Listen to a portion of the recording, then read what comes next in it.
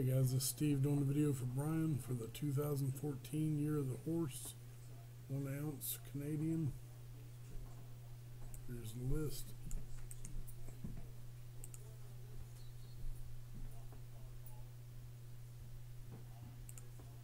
Gonna type live. 1049.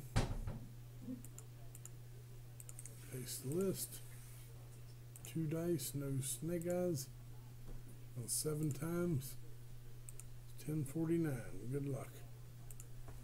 One, two, three, four, five, six. Greg on top, Ernest on bottom.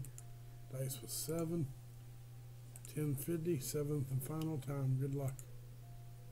Trev, spot number six. Seven times. Seven on dice, Trev on top. 1050. Trev, send your info to Brian. Type done.